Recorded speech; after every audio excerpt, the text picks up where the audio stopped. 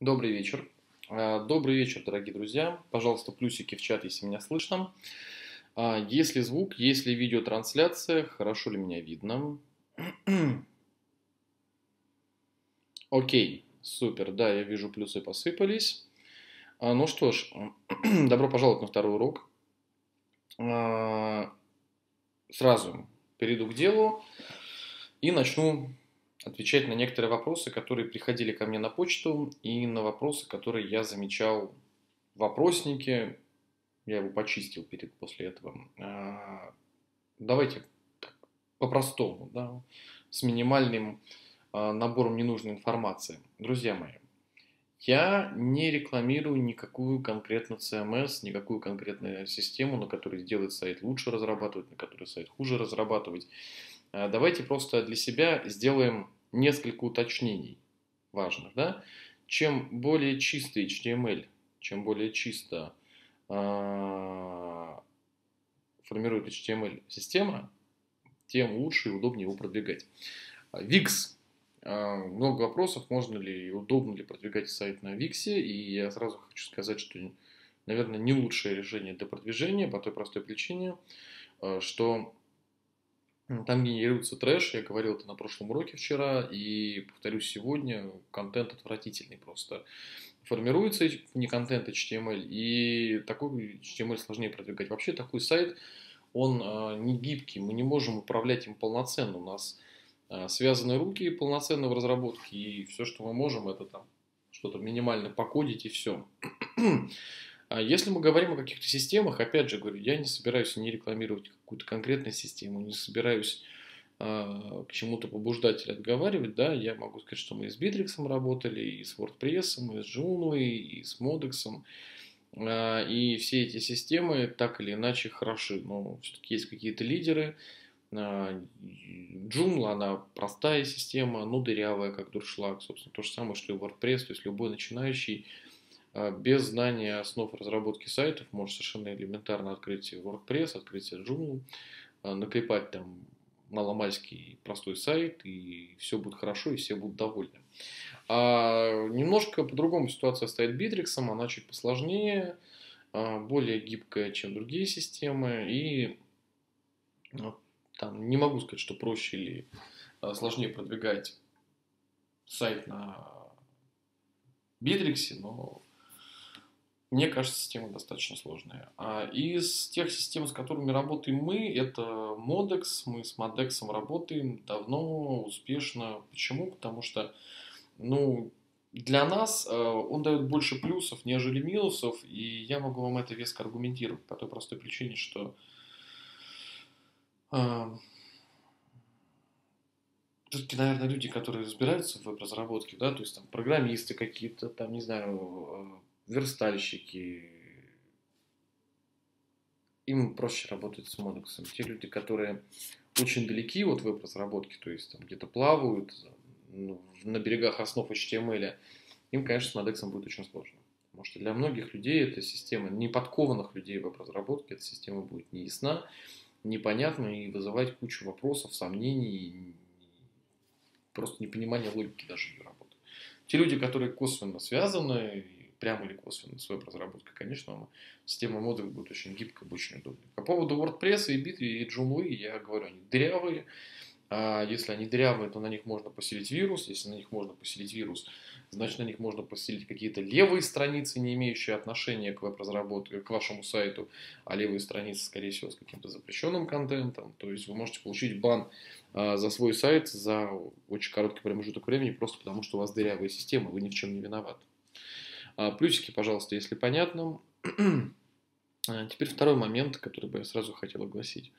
А, друзья, это бесплатный марафон для новичков. Вы можете делать домашнее задание, вы можете не делать домашнее задание. Это исключительно ваше решение, исключительно ваш выбор.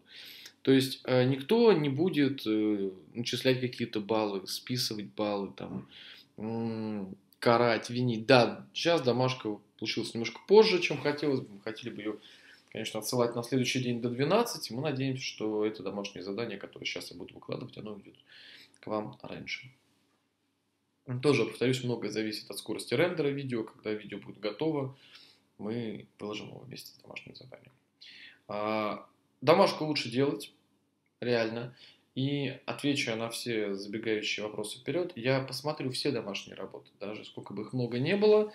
А, я посмотрю все домашки, я уделю им, насколько это возможно, внимание, даже если вы после третьего урока будете присылать мне домашку первого урока.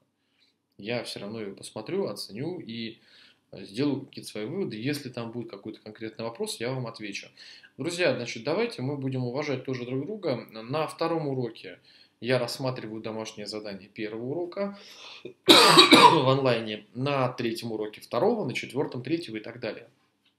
А, не надо обижаться, если вы мне прислали домашнее задание после третьего урока, а, от первого урока. От первого прислали после третьего. Не думайте, что я его прямо в онлайне буду разбирать на четвертом уроке. Этого не будет, потому что э, ну, вы прислали его слишком поздно. Те, кто прислал, первые там пять человек, приславшие домашнее задание после урока, оно, это домашнее задание в онлайне рассматривается на следующем уроке, как сегодня мы рассмотрим некоторые отправившие нам ДЗ.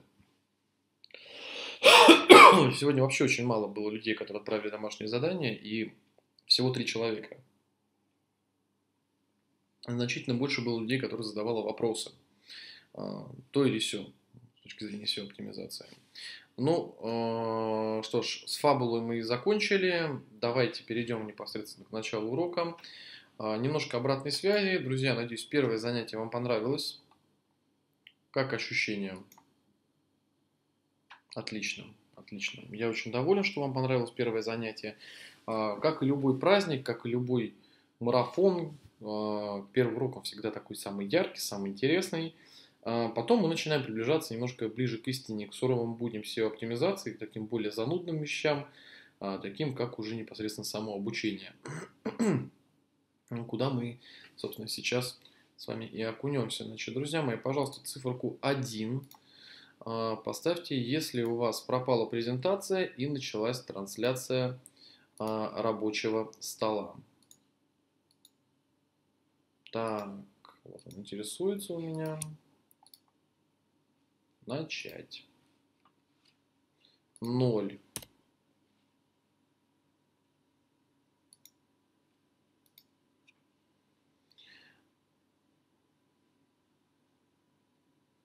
Так.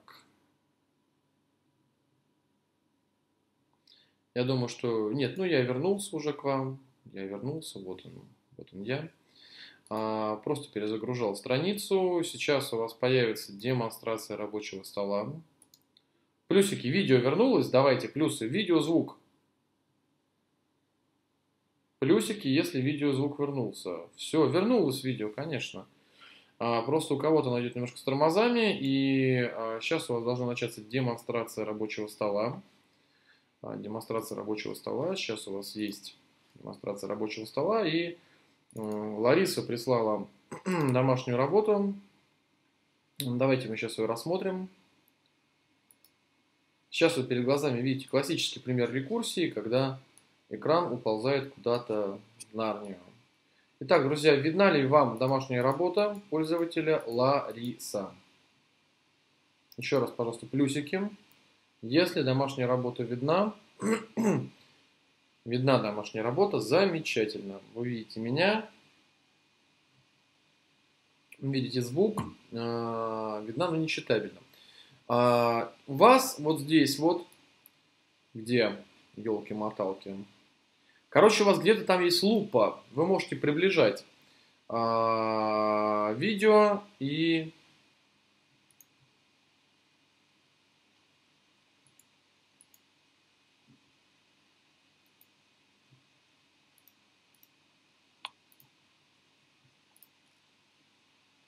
Так, вернулась ли трансляция?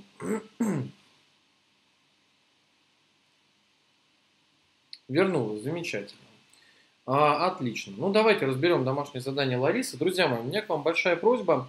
Это не первое домашнее задание и не последнее, в котором я... А, правильно, потому что вы смотрите демонстрацию рабочего стола. Презентация в этот момент закрыта. А, если вы видите рабочий стол, видите домашнее задание, значит презентация должна быть закрыта. Друзья мои, если вы ничего не видите, никакого демонстрации рабочего стола, не видите открытый документ Word, а, я настоятельно рекомендую вам перезагрузить браузер а, или зайти в другой браузер. То есть, если вы используете Internet Explorer, Opera, ну, далеко не факт, что у вас будет нормально все работать. Самый лучший браузер для просмотра а, наших трансляций это Google Chrome. Пропало. Как интересно. Как интересно работает интересно работает демонстрация пруфами в данный момент. То есть то работает, то нет. А если сейчас не взлетит, то будем преподавать немножко по-другому. А появилось, да, вот я думаю, что оно появляется, то исчезает. Окей. А это домашнее задание Ларисы, она прислала его в теле документа. Большая просьба присылать домашнее задание не в теле документа, а непосредственно в какой-нибудь вордовский файл, его так проще сохранять. Давайте мы будем сразу отвечать на вопросы. А сколько роботов у поисковой системы? Обоснуйте свой ответ. Google использует программу, известную как а, Web Crawlers. А, то есть фактически это один робот с миллионом рук. А, как вы считаете, это правильный ответ? Елки-палки, опять пропало видео. Да что ж ты будешь делать-то? Кошмар. Отвратительно работает сейчас плагин для Мака Proofme. Просто отвратительно. Сейчас он, скорее всего, появился и опять пропал. Окей, а, давайте мы тогда не будем а, терроризировать вас демонстрацией рабочего экрана. Ребят, а, мальчики и девочки, дорогие друзья, давайте не будем вас терроризировать демонстрацией рабочего стола, просто мы теряем время от урока, которое достаточно дорого. Я буду просто зачитывать домашнее задание, вы можете его увидеть в записи урока. Ну, почему можете вы его увидеть в записи урока? А, я вам просто зачитаю некоторые вопросы, зачитаю ответы, а, и мы с вами на них вместе сообща поотвечаем. Друзья, если вы готовы, пожалуйста, плюсики поставьте. А, ну, просто, что мы будем сейчас биться, мы лучше завтра в течение дня, пока все будут готовить домашние задания, мы позаморачиваемся с демонстрацией рабочего стола. Окей. Вопросы и ответы. Какую цель преследуют поисковые системы? Достаточно разнятся ответы людей, ответивших на домашнее задание. А Лариса пишет. «А, работа поисковой системы заключается в том, а, чтобы по запросу пользователя найти документы, содержащие либо указанные ключевые слова, либо слова, как-либо связанные с ключевыми словами. Либо указанные ключевые слова, либо слова, как-либо связанные с ключевыми словами.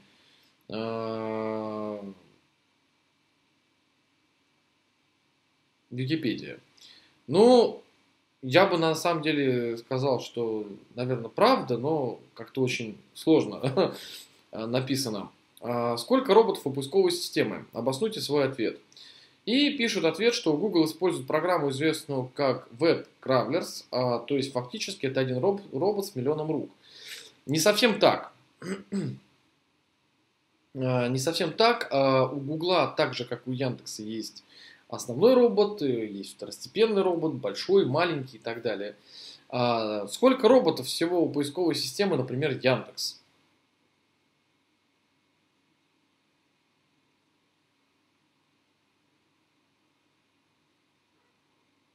И все замолчали. Хорошо. Значит, при следующем рассмотрении домашнего задания. А поисковая система собирает сайты, э, тексты, делает их, делит их на пассажи. Для чего? А, для того, чтобы дать возможность наиболее, для того, чтобы дать наиболее эффективный и аккуратный ответ на поставленный вопрос. А, и ссылка на prooflink какой-то. А, сразу возникает вопрос, когда я говорю, обоснуйте свой ответ, например, да, первый вопрос, сколько роботов в системе Google, обоснуйте свой ответ. И почему-то вот здесь вот мне присылают ссылки в качестве профлинка, причем вот э, касательно пассажей, Prooflink э, не на самый авторитетный ресурс. А, Василий Петрович сделал сайт про рыбалку. Какие минимальные действия необходимо сделать Василию Петровичу, чтобы сайт попал в индекс поисковой системы? У вопроса может быть два и более правильных ответа. А, первый ответ это зарегистрироваться в сервисах веб-мастеров. Второй добавить туда же карту сайта. Третий добавить карту сайта на сайт. А, сайт должен быть сделан на адаптивном дизайне. Э, На самом деле пункт 4 про адаптивный дизайн это не является остро необходимым минимумом. А, Петрович сделал сайт про рыбалку. Какие минимальные действия необходимы сделать, чтобы сайт попал в индекс поисковой системы? То есть и без мобильной версии он прекрасно в индекс попадет. Да? И э, без добавления карты сайта на сайт он тоже туда попадет. Вопрос стал о минимальных действиях. Достаточно зарегистрироваться на сайте мастеров или купить любую ссылку на свой сайт с проиндексированного ресурса. Вот так. А напишите, ну или в каталоге его разместите.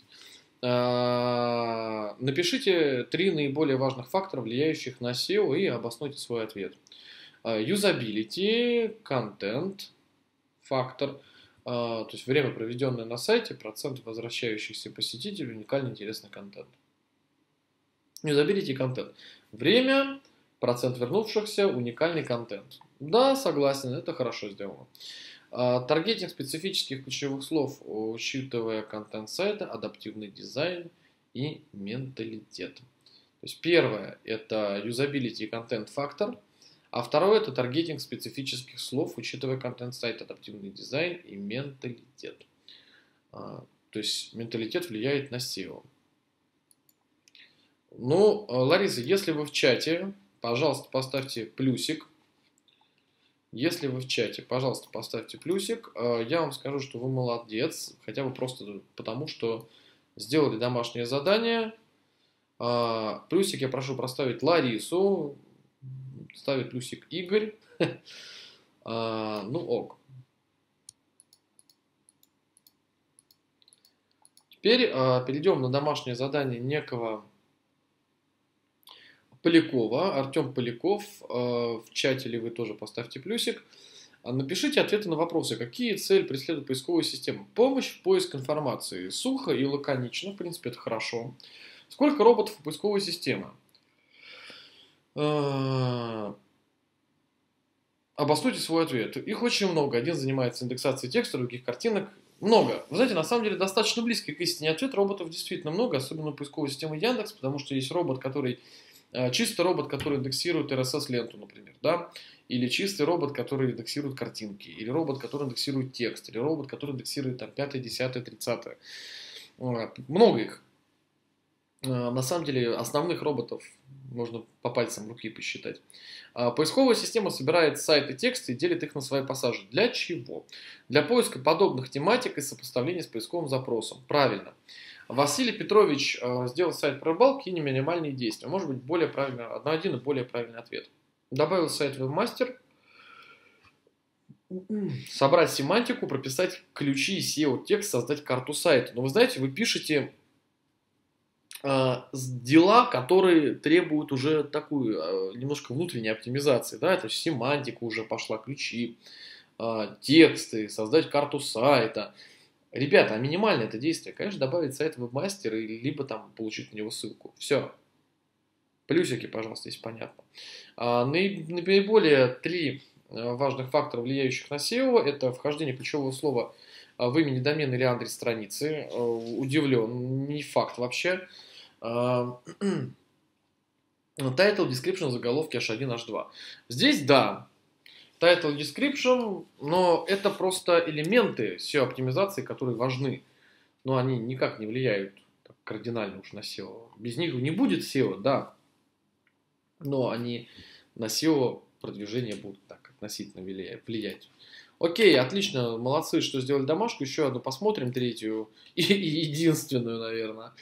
А, безымянная она будет, потому что не помню, кто ее прислал. Там был архивный Э, раровский файл с двумя файлами. Ангелина, это вы.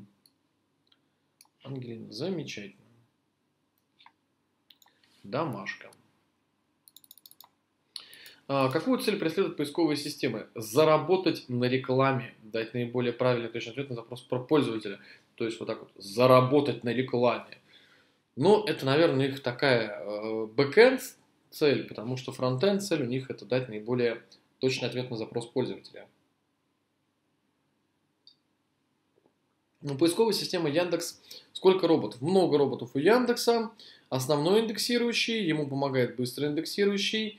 Робот, обращающийся при открытии страницы по ссылке, найденные слова, робот, обращающийся только, обрабатывающий только картинки, робот, индексирующий только иконки, а также робот, индексирующий страницы сайтов, участвуя в рекламной сети Яндекса и многое другое.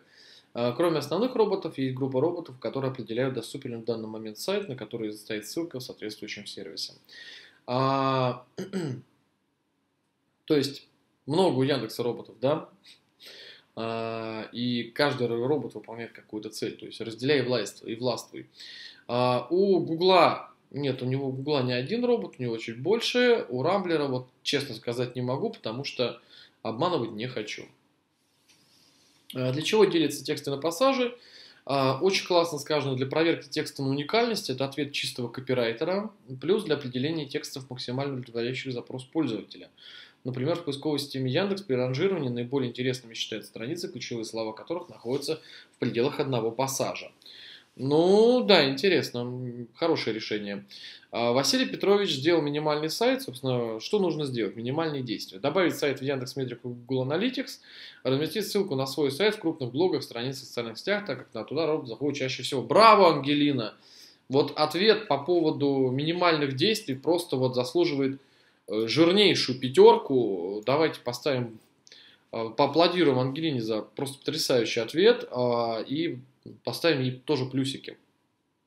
Потому что абсолютно правильно это добавить сайт в Яндекс Метрику, Google Аналитику и разместить какую-нибудь жирнющую ссылку на свой сайт в социалках или блогах или каталожных ресурсах.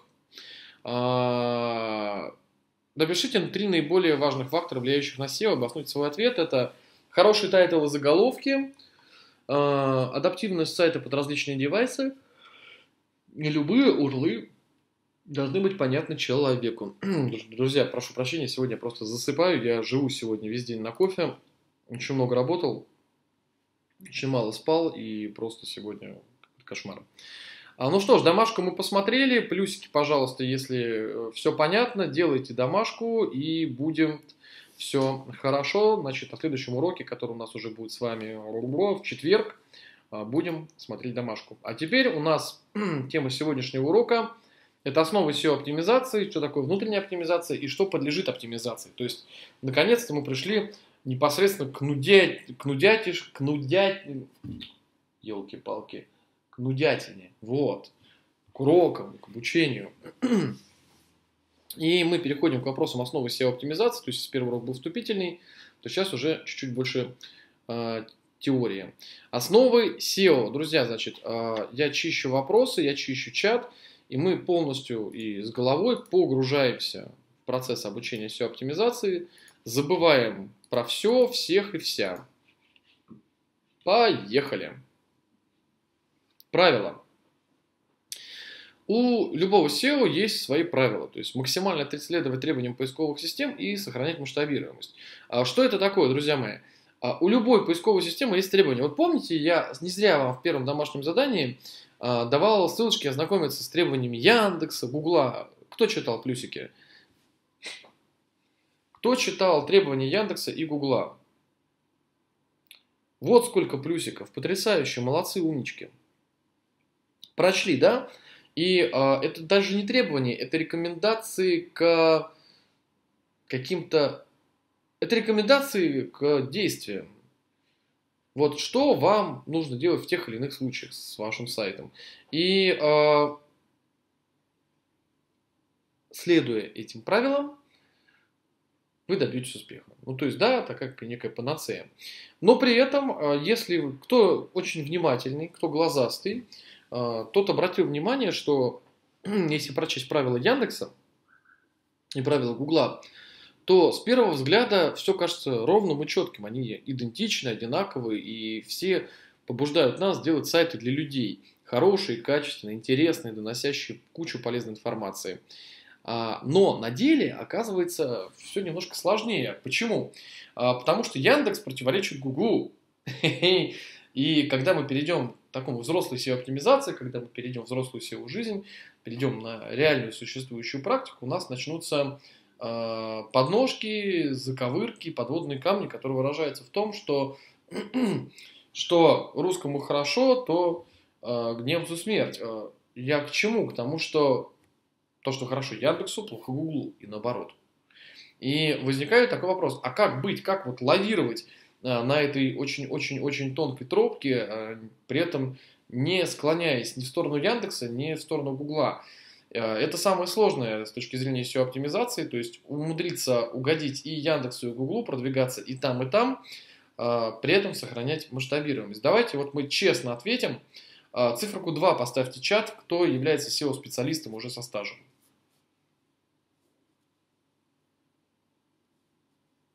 Ну, просто пришел там посидеть, потроллить. Там, на меня посмотреть, грубо говоря, от нефиг делать. Да, вот один человек есть специалист по стажу. а, многие вот из тех SEO-специалистов, которые реально а, являются SEOшниками, наверное, подтвердят мои слова, что есть такая проблема в мире SEO, что в, одном, в одной поисковой системе мы продвигаемся хорошо, а в другой нет. То есть, понимаете, а, продвигаемся где-то хорошо, а где-то нет. Мы поперли в Яндексе, в Гугле, мы поперли в Гугле, в Яндексе, и вот это вот э, перекати, э, перетекающие палочка эстафеты из Яндекса в Google, она всегда вызывает недоумевание у клиентов, которое выражается в том, слушай, как бы хорошо, мы продвинулись там Яндекс, почему в Гугле-то мы в заднице? Или наоборот, там, «А, на, мы в Гугле занимаем первые позиции, почему мы не можем выйти в Яндексе в топ? Это же так просто, мы же в Гугле смогли. И клиенту или другому человеку достаточно сложно объяснить, скажем, дорогой друг, ну как так, пойми, пожалуйста, а, не все то, что хорошо Яндексу, хорошо для Гугла, мы в любом случае как-то а, наклоняемся в ту или иную сторону, к той или иной поисковой системе, кому что ближе по душе. А, право признаюсь, я всегда клонюсь в сторону Яндекса, потому что там обитает а, большая часть моей коммерческой аудитории по моим проектам, которые я веду. И э, задача любого SEO-специалиста – это максимально следовать требованиям поисковых систем, то есть, грубо говоря, привести свой сайт к идеализированному варианту сайта, описанному в документации поисковиков, но при этом сохранять масштабируемость, чтобы можно было гибко, быстро вносить изменения, корректировки э, в ваш сайт и адаптироваться и подстраиваться под новые требования.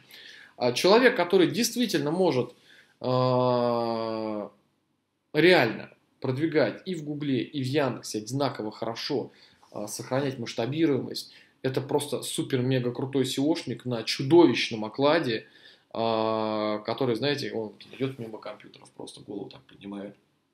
Третья строчка, страница такая-то, текст плохой.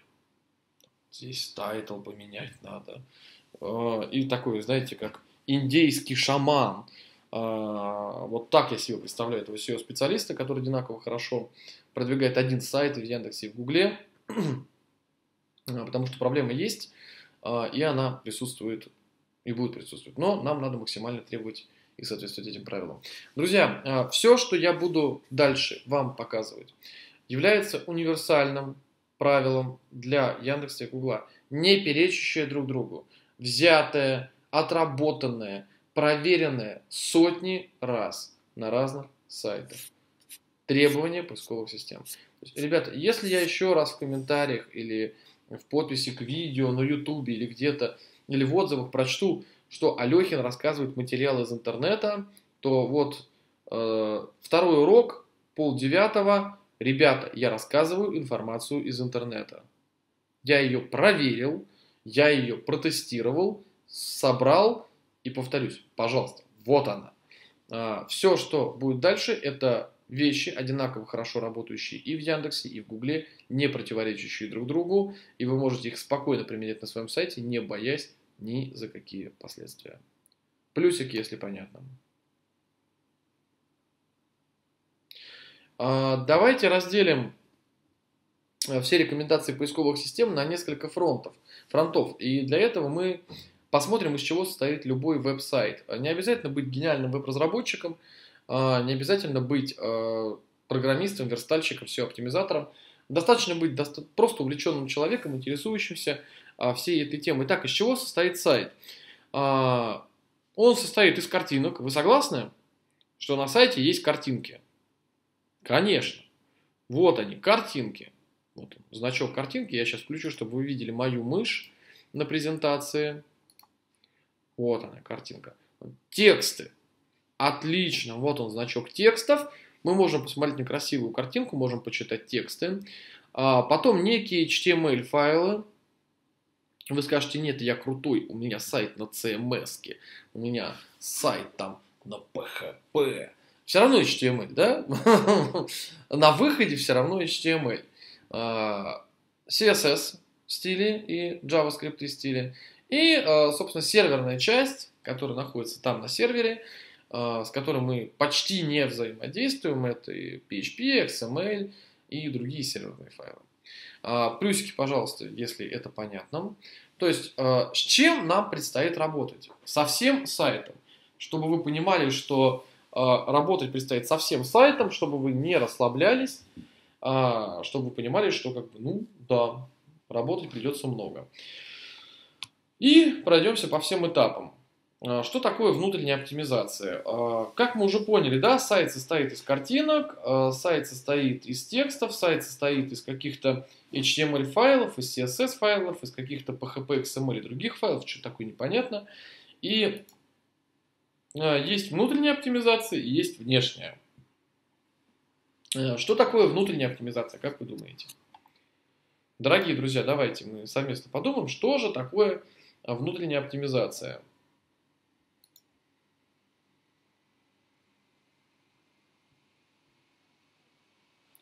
Семантика, структура сайта, работа над сайтом. Ух ты как. Прикольно, ни одного правильного ответа. Оптимизация картинок теги, семантика. Ну, я правильно понимаю, да, то есть внутренняя оптимизация, а, слава богу, Алексей, первый, кто написал, это поисковое продвижение без внешних ресурсов. Понимаете? То есть это работы по SEO, выполняемые в рамках одного домена. То есть мы все работы, которые выполняются в рамках одного адреса сайта, в рамках одного ресурса, мы будем называть внутренней оптимизацией. Все работы, которые направлены на продвижение нашего сайта, но ведутся вне его, мы будем называть внешней оптимизацией. Плюсики, пожалуйста, если это понятно. И продвигаемся дальше. А, давайте посмотрим на долевое соотношение а, внутренней к внешней оптимизации. Перед вами есть а, некий круг, двухцветный, оранжевый и голубой, и написано внешняя оптимизация, и это сайт внутренней оптимизации. Если представить весь размер круга как величину 100%, то есть вот этот весь круг это 100%, то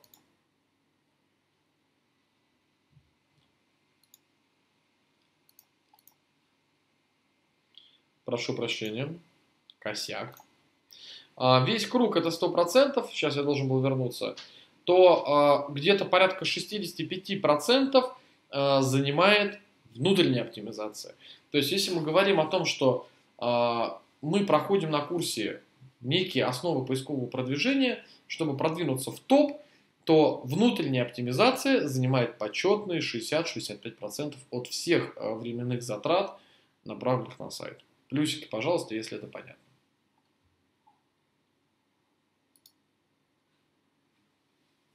А следующая часть это что подлежит поисковой оптимизации.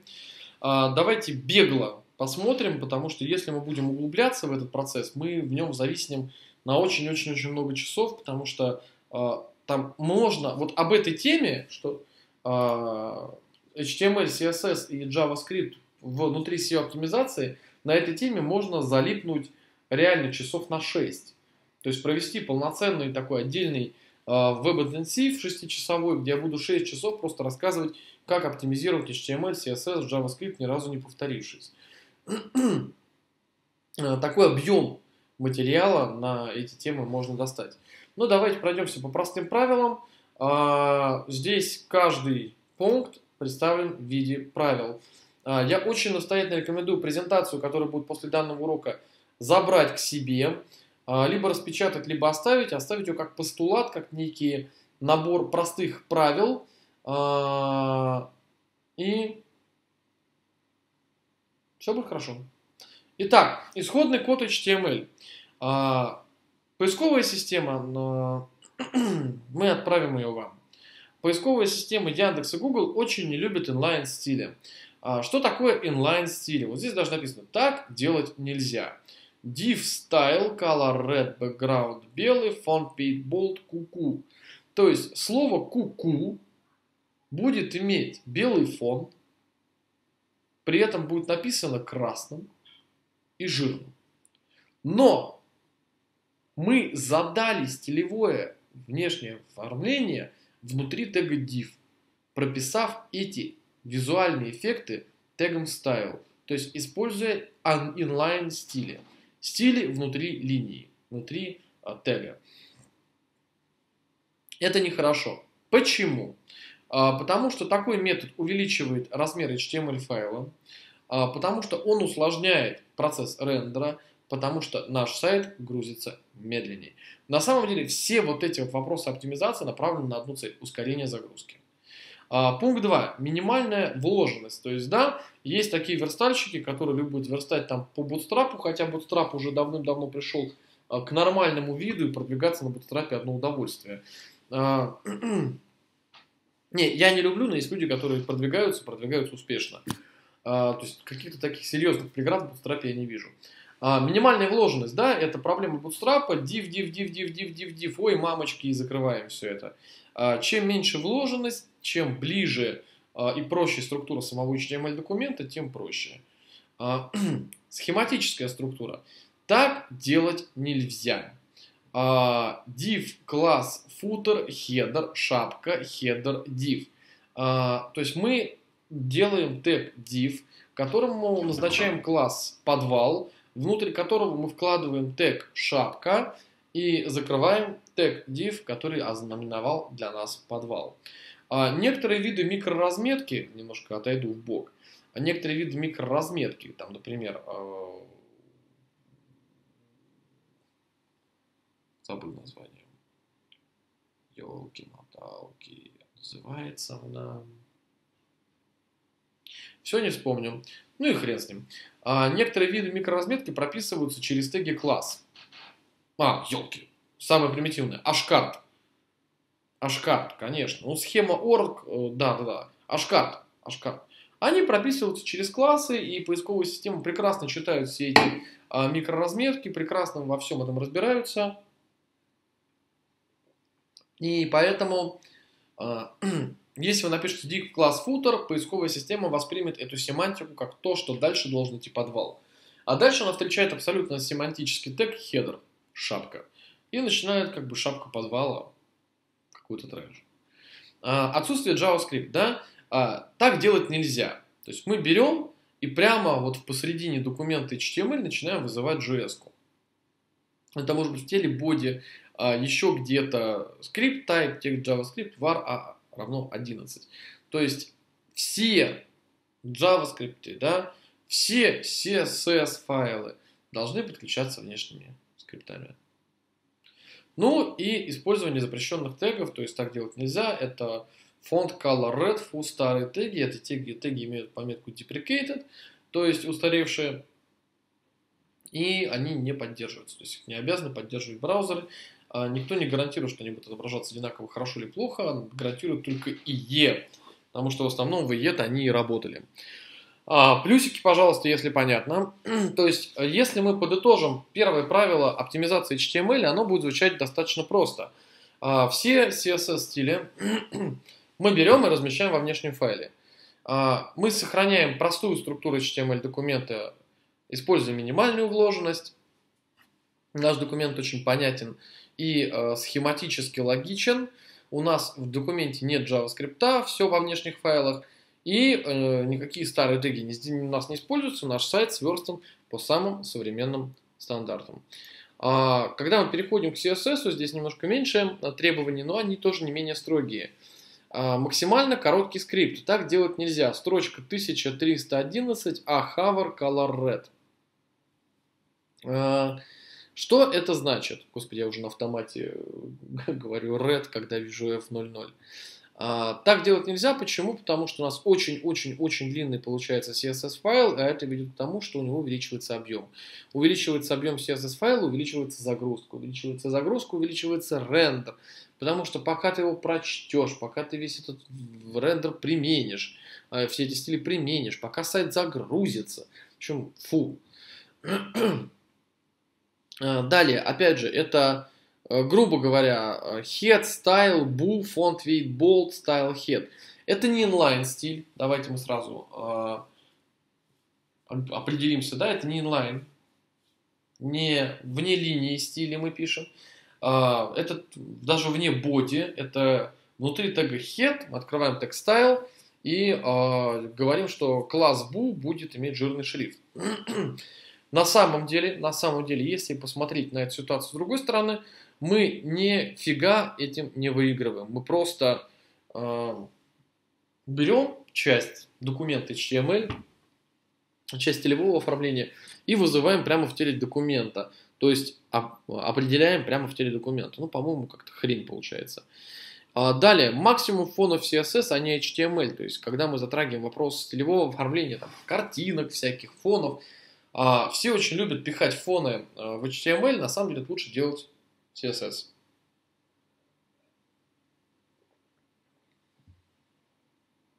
А, да-да-да, опечаточка. Спасибо. Обязательно исправим опечатку, но я думаю, что она не критична. А, по поводу B64. Постараюсь проще объяснить. B64 это позволяет закодировать что угодно во что угодно. И при этом декодировать что угодно во что угодно.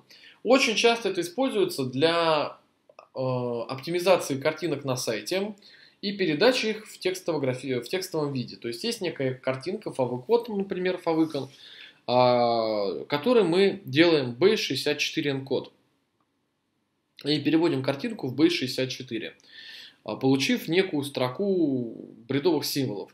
Потом, используя команду base64 decode, а, мы этот непонятный набор стимулов переводим в графику.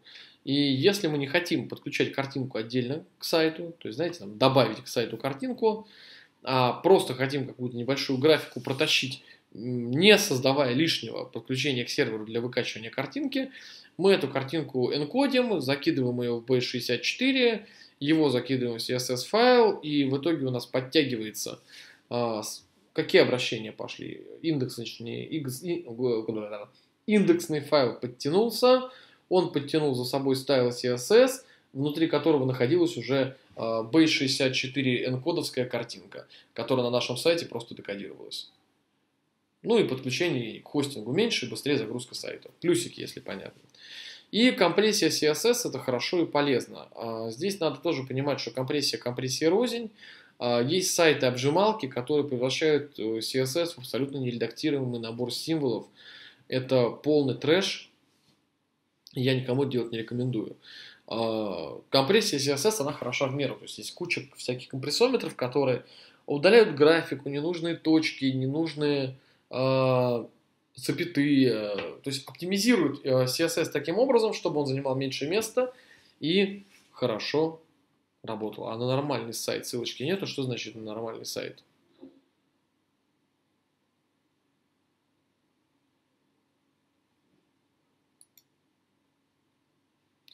Исходный код JavaScript.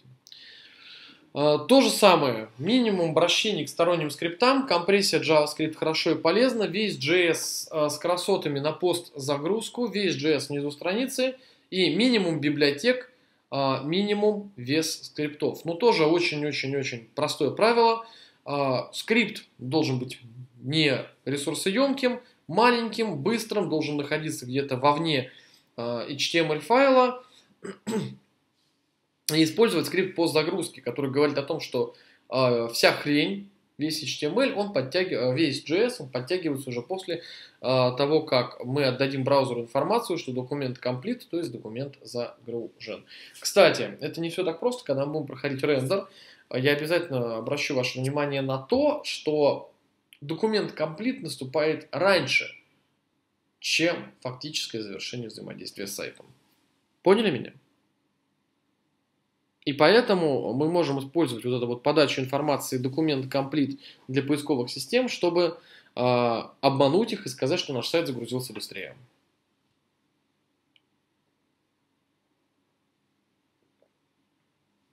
Но еще будем это проходить. Это такие уже сложности пошли. А, контент. Самая моя любимая тема. Достаточно ответить на много ваших вопросов. Итак, начало теги H1, H5, H6.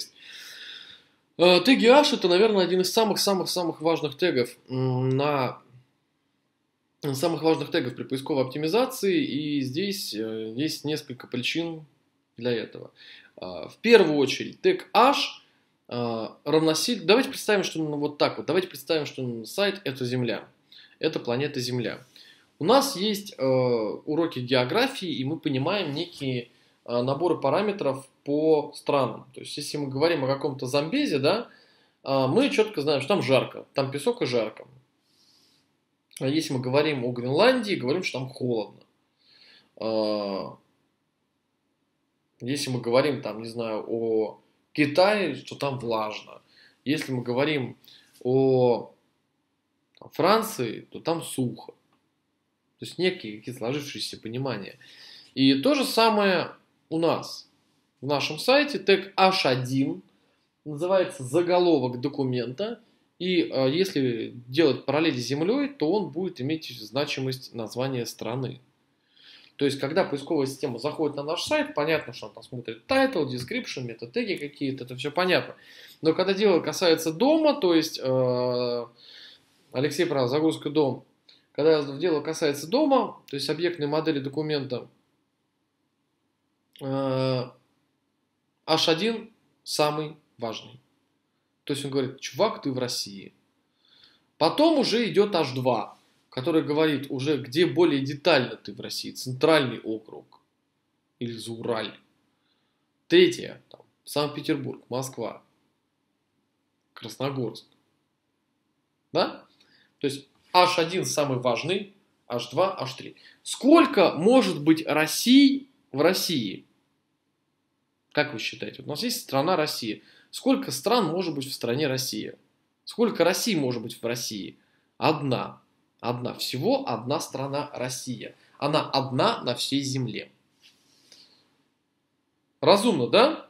Поэтому тег H1 всегда стоит самым первым, самым важным, самым основным и всегда один. То есть правило всегда простое. Тег H1 всегда один. И самый главный. В нем можно ключи использовать, что угодно. Правило номер два. Сохраняем вложенность тегов. Режим матрешки. То есть H1 а, основной тег, после него мы можем текст разбить на логические блоки тегом H2. Это будет Москва и Петербург. Потом уже идет H3. Северный округ, там центральный округ и так далее. H4. Россия, Москва, Северный округ, улица такая-то. H5. Россия, Москва, Северная улица, улица такая-то, э, дом такой-то. H6, квартира такая-то. То есть, чем меньше мы спускаемся, тем э, более детально мы должны что-то расписывать в документе. Э, если вы будете жестить с тегами H на своем сайте, то вы получите тег переспам, фильтр переспам, который вас деликатно опустит с небес на землю, ничего хорошего у вас не получится. А, поэтому все должно быть в меру. Теги H1, H2, H3 тоже должны быть в меру. Хотя они очень-очень-очень важны для поисковой оптимизации. То есть это основа поисковой оптимизации. Нету тега H, забудь о том, что ты SEOшник. И э, никаких дополнительных тегов. Теги H не терпят соседства. А помним, что наверняка встречали вот такие вот теги. Не знаю, получится, не получится.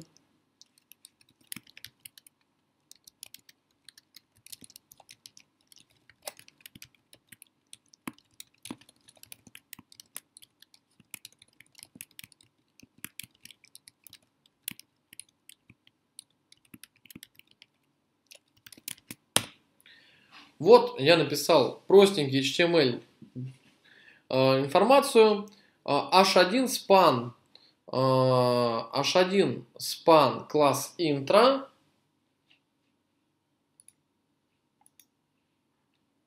Ребят, прошу прощения. Я написал простенький HTML документ h1 span класс intro тра-та-та-та-та.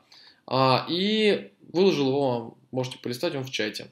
И что мы видим? Вот так вот делать нельзя. Почему? Потому что внутри тега h1 находится некий спан, а, который говорит о том, что ай, ну как же так, надо быть, а, иметь такое-то стилевое оформление. Это плохо, потому что h1 в принципе не терпит никакого соседства. Он всегда один, он всегда заглавливает контент, и он требует сохранения вложенности порядка. 2 идет после 1, 3 после 2, 4 после 3.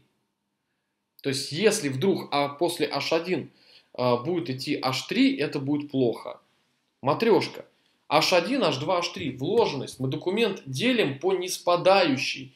У нас может быть h1 заглавливание документа, потом небольшой кусок текста, потом h2 подраздел текст, h3 подраздел подраздела, H2 опять подраздел, потом H3, потом H4, потом опять H2. Плюсики, пожалуйста, если это понятно.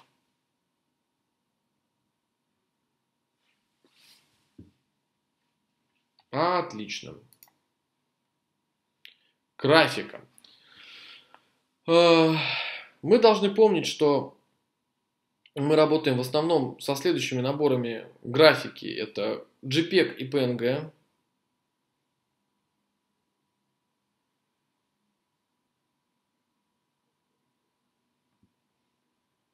В записи пересмотрите, Сергей, есть. Мы работаем с форматами JPEG и PNG. А чем отличается... Я понял, что пропадал. Хорошо, давайте я расскажу про соседство. А теги H1 не терпят соседства вообще ни в каком формате. То есть они должны быть пустые одни. Оптимальный вариант написания, я повторюсь, H1, тра-та-та, H1. Вот так вот H1.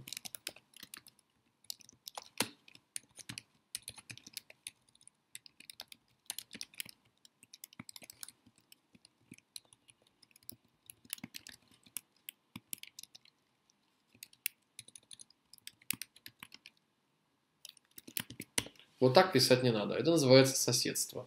Это когда внутри тега h мы вложили что-то. Да, или, например, h1 класс бла-бла-бла, но это не так критично на самом деле. Понятно теперь? Нежелательно. Желательно бездетный H1. А, графика. Наши форматы JPEG и PNG. Почему? Потому что JPEG это просто легкая полноцветная картинка, а PNG это полноцветная картинка с чем? Кто знает?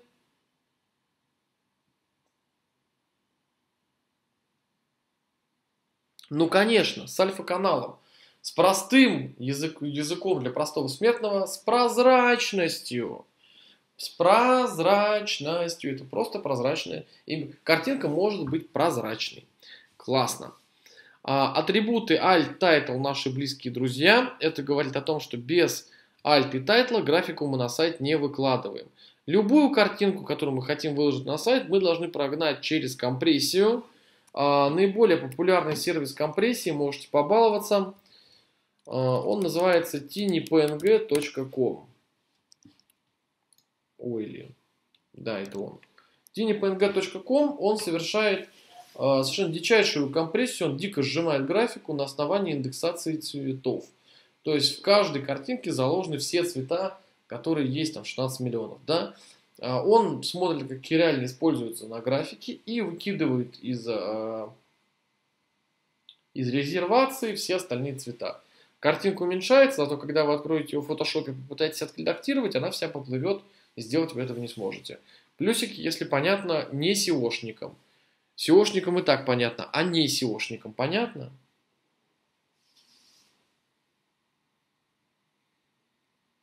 Картинка. Нельзя картинку размещать в незаметном месте на сайте. Это очень плохо. А картинка должна быть заметна. А уникальное не только ледяное изображение, поэтому, друзья мои, если вы делаете по-настоящему уникальный сайт, делаете хороший ресурс, делаете хороший качественный проект, то и графика должна быть под него тоже, соответственно, уникальна. Отвечая на вопрос Ивана, замечательный сервис, часто им очень пользуемся. Плюсики по графике, пожалуйста, если все понятно. А, следующий слайд это текст, и я про текст хотел бы сказать несколько нюансов о том, что а, текст а, должен быть уникальным не менее 97%. Сейчас вылезут копирайтеры и спросят, почему не менее 97%.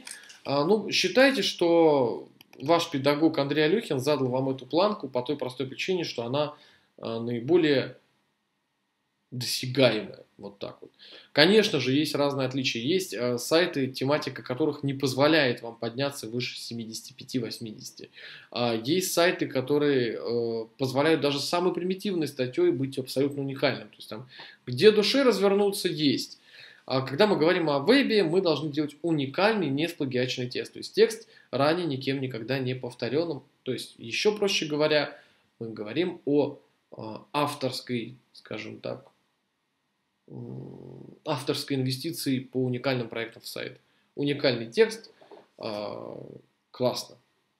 А, текст оптимизировали, оптимизировали, да не дооптимизировали. Это значит, что вы слишком сильно хотели сайт продвинуть в топ и немножечко подгадили, и ваш сайт полетел вниз. То есть никогда не спешите. Понятно? Э, я ссылка, нажми на меня. То есть если ссылка незаметна, а, неинтересна, она теряется на фоне всего, то есть просто ее не видно, то это очень плохой тон, и за это можно получить по шапке от поисковых систем, то есть получить определенные санкции, или немножко усложнить ваш рост в поисковой системе до тех пор, пока ссылка не будет доступна, и сразу понятно, что это елки-палки ссылка, нажми на меня. Поэтому те люди, которые привыкли в CSS-файлах прятать ссылки, вообще никак не выделять, чтобы они в контенте были спрятаны, ребята, вы выкопали себе давно-давно могилу, и ничего хорошего не будет. Понятно?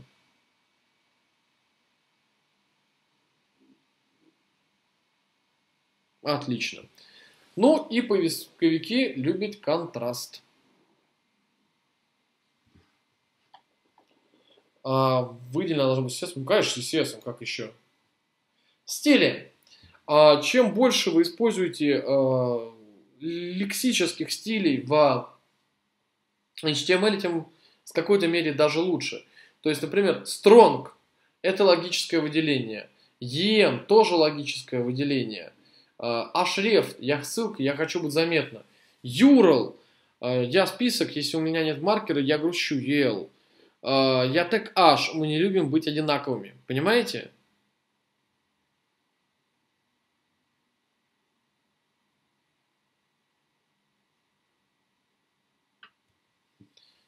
Не все Ольга понимает. Не страшно. Не страшно. Не страшно. Разжуется, уложится, пересмотрите. То есть, грубо говоря, мы можем выделять в нашем документе, на, нашем, на нашей странице текст жирным или курсивом. Соответственно, кто из вас в Варде жирным текст сделал? Да все. Кто делали курсивом? Все. Вот здесь то же самое. Strong, жирная, ем, курсив шлейф, ссылку ел, э, немаркированный список. Э, маркированный, вернее. Э, привет, э, я H, это теги H, ну, про который мы уже говорили. Uh, title, description, keywords. Ну, достаточно такой. Дают ли стиль уникальность? Нет, не дают. B нельзя использовать, потому что это устаревшие теги, они уже deprecated. Можно использовать strong и em. Title, description, keywords, мета-теги. Простые правила. Title должно быть заполнено всегда. Оптимальный размер, то есть длина title 60 символов. Скажем, нет стоп-символов.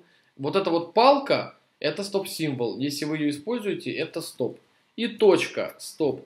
Соответствие обязательно title h1 тематика. Длина заголовка не бесконечна. Description. Google любит description, Яндекс он чихает с высокой колокольни. Оптимальный размер тайтла 170 символов, description описание, описывайте, а не продвигаете. Будете делать слишком много SEO, а поисковой системы ваш description просто не допустит. Будет использовать рандомный текст из вашего, из, вашего, э, из этой страницы. Keywords разделяются запятыми, а не точками, это общая ошибка. А, только тематические ключи попадают в keywords, не все подряд, это общая ошибка. Поисковые системы умеют склонять и знают числительные, поэтому не надо писать «купить в Москве», «купить в Москву», «приеду», э, не так даже, «купить булочку», «купили булочку», «купи», «купят булочку», э, «купишь булочку», «булочку купишь» и так далее. Яндекс все это делать умеет. Мы говорим о дескрипшене. Александр, 170 символов, description.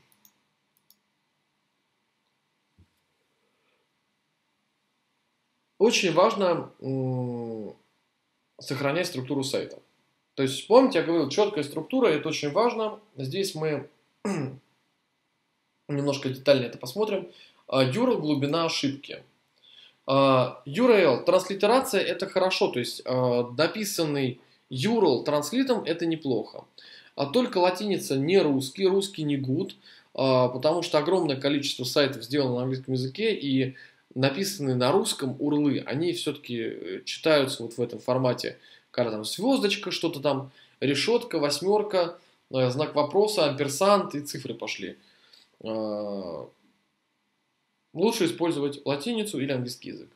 URL равняется разделу. Куда ведем, о том и рассказываем. То есть, если у вас а proof.me.com slash вебинар, сразу четко понимаем, что мы будем смотреть какой-то вебинар. А если был proof.me.com gallery, мы бы понимали, что мы идем смотреть картинную галерею. Если бы proof.me.com там game, мы бы шли играть. Плюсики, если понятно. То же самое на сайте. Четкая структура. Site.ru slash services. Site.ru э, slash contacts. Site.ru slash about us. И так далее. Глубина. Нельзя углублять э, страницы более трех уровней, причем сайт .ru будет нулевым уровнем. Уровни считаются от корня сайта. Сильно жульничать нельзя, чуть-чуть можно. То есть так делать нельзя. Сайт.ру услуги топ-5 абонентка тариф лайт. А можно как? Сайт.ру услуги тариф лайт. И получится первый, второй, третий уровень как раз. Плюсики, если понятно.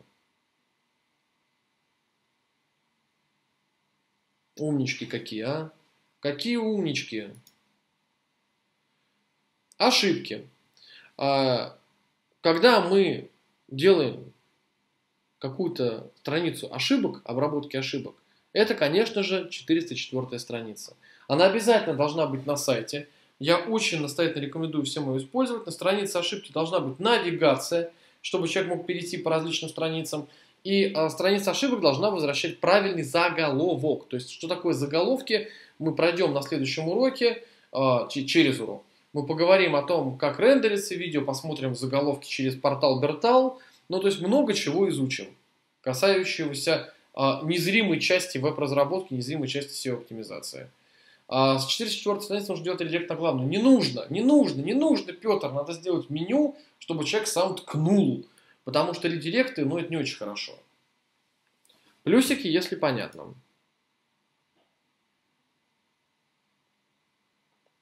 Слушайте, я прям заболтался. 21.03. У нас э, последний слайд. Соответственно, робот sitemap HT Access. Мы серверную часть, наверное, будем затрагивать на следующем уроке, потому что хочется рассказать про них поподробнее. А сейчас просто повторить э, все то, что мы с вами прошли из правил. Итак, правила. Максимально следовать требованиям поисковых систем, сохранять масштабируемость. А, нельзя использовать инлайн-стили по HTML. Нельзя использовать глубокую вложенность. А, схематическую структуру использовать можно и нужно. А, чтобы не было JavaScript в теле документа и нельзя использовать старые запрещенные теги. А CSS нельзя делать слишком длинным. А CSS юзаем только в файле style.css, то есть никаких вкраплений CSS в head или в body мы не делаем. Если мы хотим использовать фон, мы этот фон оформляем в HTML, а не CSS, если его очень много, конечно. А B64 декодер и энкодер хорошо, но в меру, и компрессия CSS хорошо и полезна. А, то же самое, что и JS, компрессия полезна. JS а, после загрузки страницы, после документа комплита будет идти. А, весь контент JS, если очень приперло, то вставляем внизу страницы. Минимум библиотек, минимум вес скриптов. Плюсики, пожалуйста. Далее мы перешли непосредственно к контенту, еще раз повторим, H1, H6.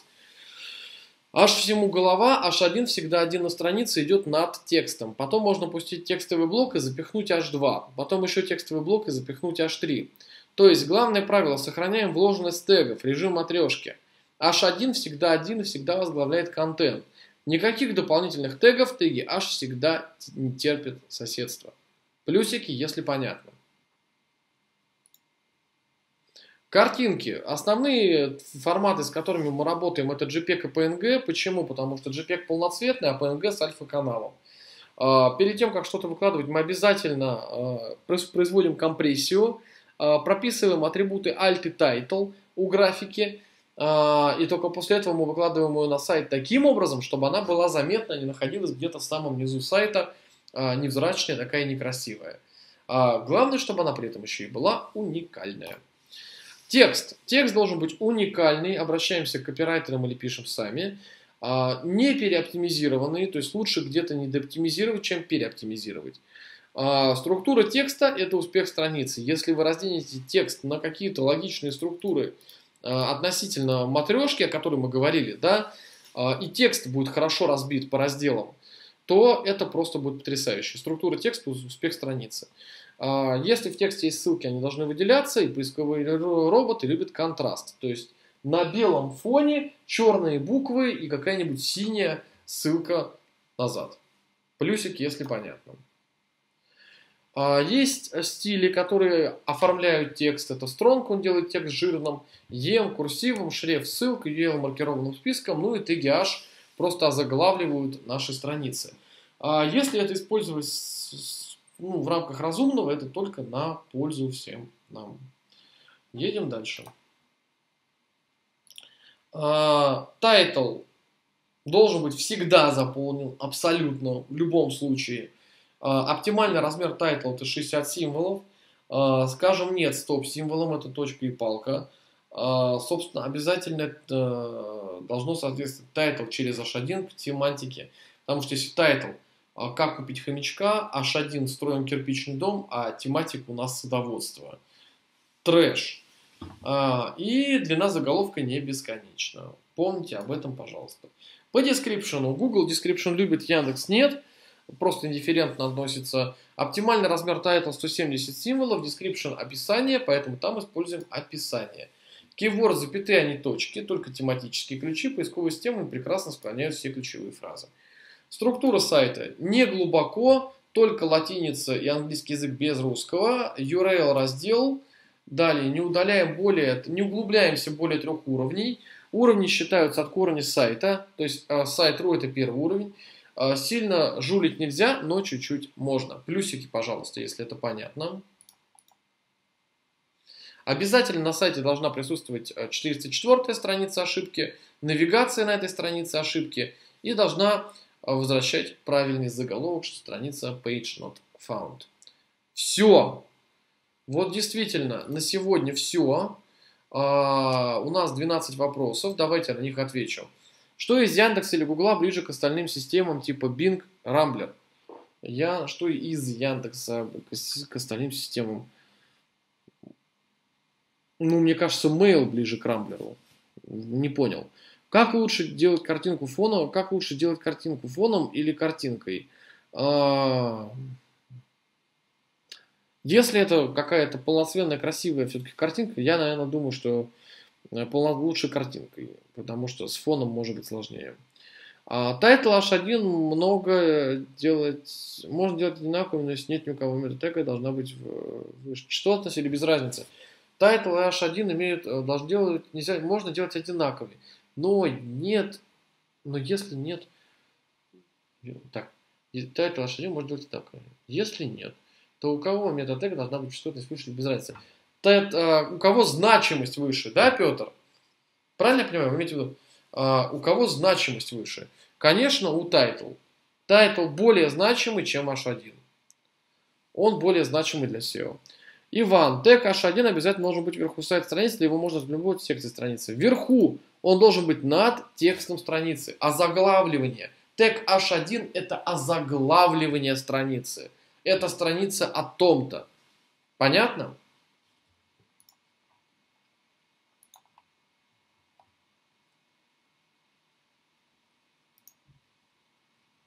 Всем понятно? Прям всем-всем-всем понятно. Ну, отлично, друзья мои. Тогда вы восхитительны. А, спасибо, что пришли на сегодняшний второй урок. Он был более нудным, чем первый.